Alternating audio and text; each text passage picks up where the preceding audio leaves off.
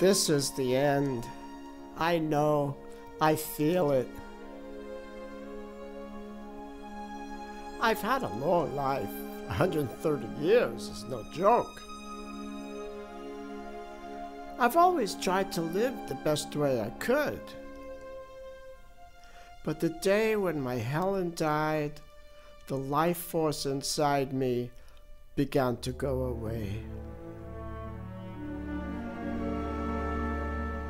My energy began to fade. I feel weaker every day. I can't feel you anymore. I try, but I can't.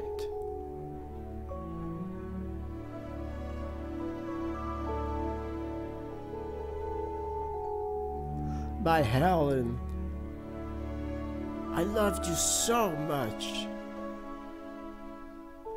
I'll never forget our first kiss. We were kids. After that kiss, our lives separated. But we met again at college. I was always a jerk with girls, but you, you were different. You could understand just from the look in our eyes that we would never leave each other again. It was as if that kiss that we gave each other as children linked us together forever. And that's how it was. Children, grandchildren, we had a happy life, full of love for so many years. Today is the last day of my life.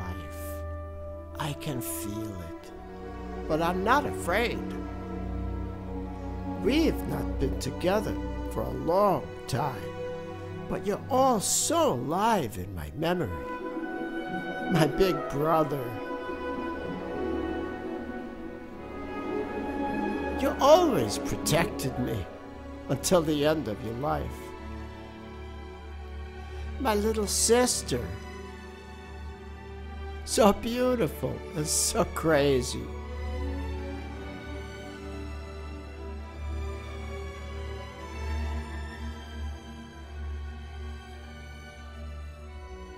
You were so funny as a child. Mom. I loved you so much. You're always a strong woman. And also charming, clumsy. But you always kept things together.